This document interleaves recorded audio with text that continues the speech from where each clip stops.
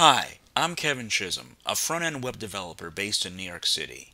In this video, I'll introduce you to Mustache.js, a popular JavaScript templating library.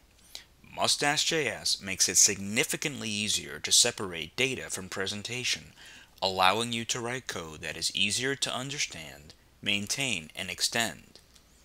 Over the next several minutes, I'll show you how to download Mustache.js and include it in your web page. I'll also walk you through the basics of creating an HTML template that will consume your data and then rendering your template in a web page. There are code examples included with this video. If you look in the code examples folder, you'll notice a file named snippets.js. This file contains small pieces of JavaScript code that we'll use to discuss each topic. The file index.html will be used to demonstrate the sample code. The files style.css and mustache-logo.png are for presentation purposes and will not be referenced specifically during this video. In order to use Mustache.js, you'll first need to include it in your web page. I have the code examples folder on my desktop, and if you look in the root of that folder, you'll see a file named index.html. I'll drag that to my text editor. Look for a comment that says mustache.js script tag goes here. Just below that, we'll put our actual script tag. Also in the root of the code examples folder is a file called snippets.js. At the top of that file is a section named including mustache.js on your web page. Below that we have three script tags. The first two script tags use a web-based resource to pull in mustache.js. In both cases what they're using is something called a CDN. CDN stands for Content Delivery Network. Some refer to it as Content Distribution Network. A CDN is simply a network of web servers all over the world that serve up the exact same resource, in this case it's mustache.js, and based on your geographical location, they'll serve the closest possible copy. It's designed to help make your web page load faster. I'm going to use WordWrap so we can see the code a little bit better. Okay. The second script tag references the exact same file, but it's mustache.min.js. And that just means that it's mustache.js with the comments and white spaces removed. So it's just designed to help, once again, to help make your web page load faster. I can copy one of these script tags and go to index.html and paste that script tag in there and we now have mustache.js on our web page. I can also use a locally saved copy of Mustache.js. We'll need to download it first, so I'll use the actual resource that we were pulling in, copy it, open my browser, paste it in, and here's the JavaScript for Mustache.js. I can say File, Save Page As. I'll save it to my desktop into the Code Examples folder. And now you'll see that we have a locally saved copy of mustache.js. Then I can use this snippet and paste it into index.html. And now we're using a locally saved copy of mustache.js. Let's go back to the snippets file and take a quick look at how to start creating our HTML template. In the section titled Creating HTML Templates, I have two quick examples. The first one has a string that contains an opening and closing paragraph tag. And inside of that, we see something that might be new to you. This is what's called a delimiter in Mustache. I like to call them hooks. And a hook in Mustache simply tells Mustache, hey, we're going to put some data in here. And these hooks are easy to, to notice by a opening and closing set of double curly braces. The opening and closing double curly braces indicate to Mustache.js, hey, this keyword or property name represents some data I'm going to pass to you, and when you get that data, put it in here. In this second example, I've done essentially the same thing, but now I have two hooks, two sets of opening and closing double curly braces. I have a name property and a title property. These strings aren't doing too much for us, so let's talk about how to render an HTML template in the web page. Rendering an HTML template with Mustache means using what's called the render method. Now, when you use when you um, include Mustache.js in your web page, like we just like we did right here, you wind up with a global object called Mustache. That object has a render method. The render method of the mustache object takes two arguments. The first argument is the template, and that's exactly what we've created up here. And the second argument is the data. It takes the template and the data and returns HTML that's essentially the template with the data injected. In the second example, I have created two variables. Now normally I wouldn't recommend using all uppercase letters for your variable names, but it's just to kind of emphasize the point here. The template variable is a string. It's very, very similar to the templates we created up here.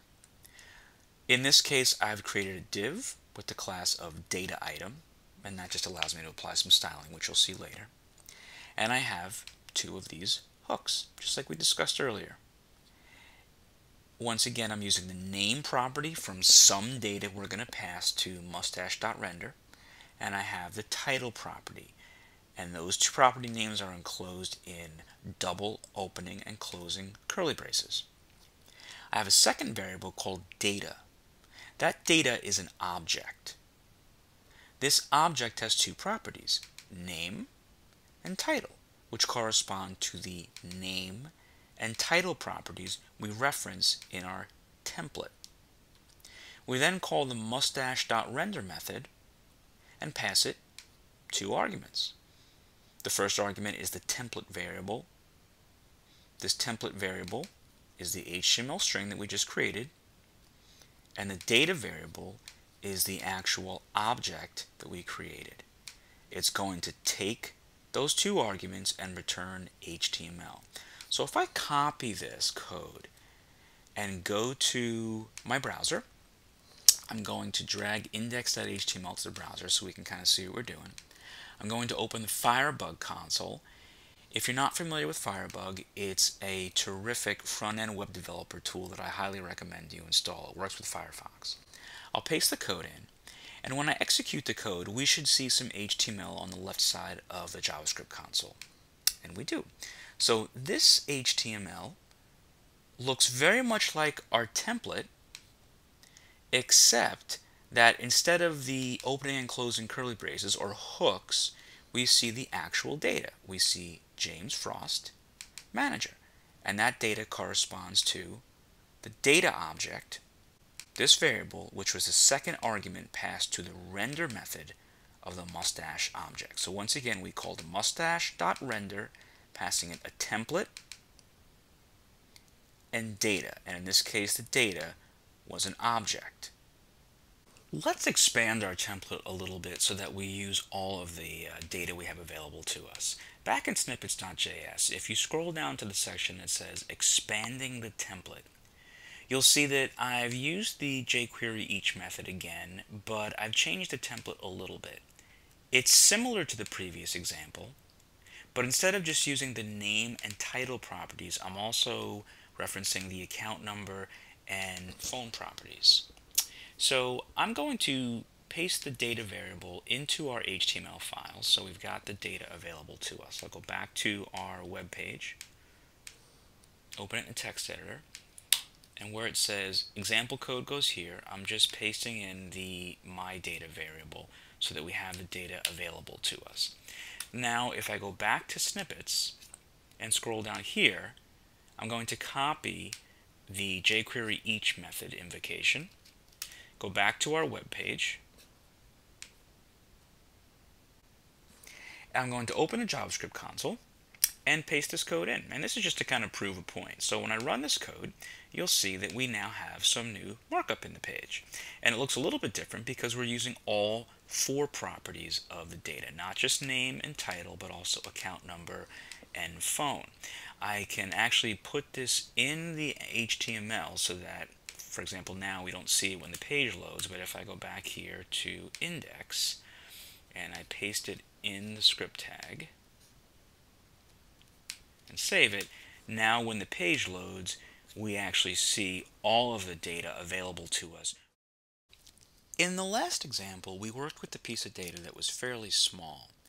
If you go to snippets.js, you'll see a section titled Rendering a List of Values in a Template. In this example, I've created an, a variable called myData. MyData is an array, and we can see that because of the opening and closing square brackets.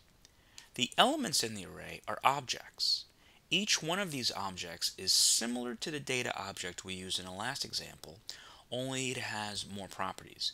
There is a name property and a title property, but also phone and account number. The biggest difference here is that instead of working with one object, we're working with multiple objects.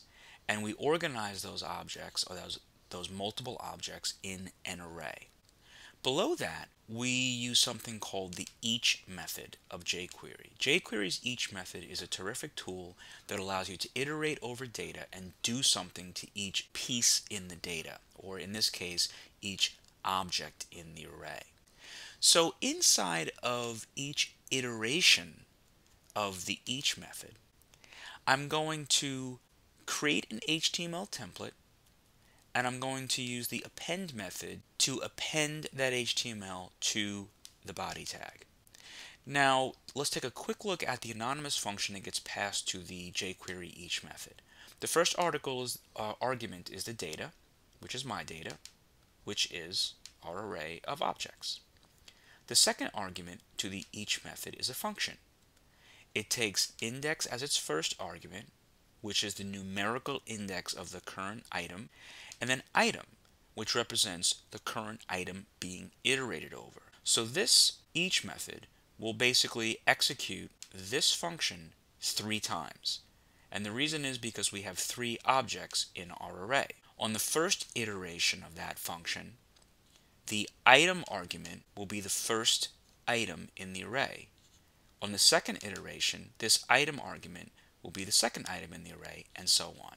So once again, inside of this function, on each iteration, we're creating a variable called HTML. It's an HTML template, just like we created before. And here we see our hooks, our sets of double opening and closing curly braces. We're referencing the name property and the title property of the current item or object that's being iterated over. Then we're calling the render method of the mustache object once again, we're passing it the HTML or template and the item, which is the current object. I'm going to copy this code and go into index.html and paste the code where it says example code goes here.